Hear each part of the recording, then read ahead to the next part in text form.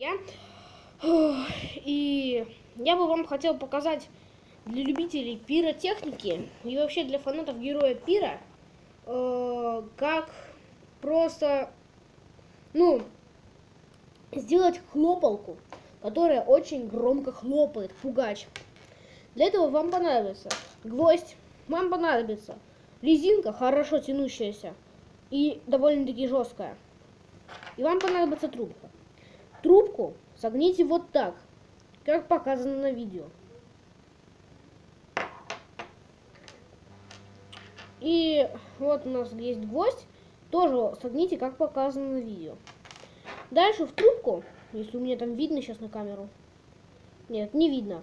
Заплавьте свинцом примерно, сейчас скажу докуда. Сейчас, ребята, подождите. А заплавить свинцом надо вот до вот, вот сюда.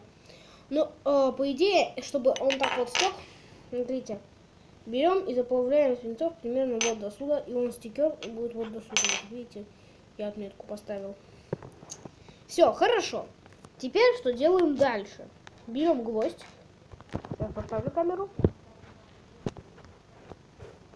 Чтобы вам было видно. Берем гвоздик.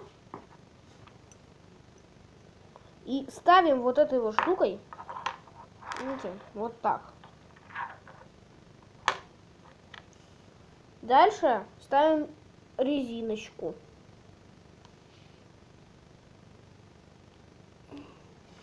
И ваша штучка готова. Вы спросите, эм, а как она стреляет? Сейчас все объясню. От... Оттащите гвоздь немножко вверх, чтобы получилось вот так. И он силой ударит по спичечной серии, которая будет именно вот так вот делаться, да. Вот. Это наш любименький гвоздик.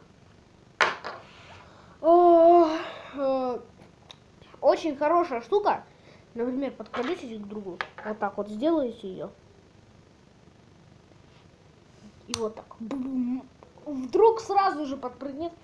А, туда заправлять надо две головки спички. Ребята, не психуйте, пожалуйста, если с первого раза у вас не получилось ничего. Потому что, возможно, смотрите, еще секрет. Если вы вот ее не утрамбовали, а обязательно надо вот так вот брать и трамбовать. Утрамбовали? Готово. Бум. Сегодня с вами был весел, веселый крот. Всем спасибо за просмотр этого видеоролика. Всем пока.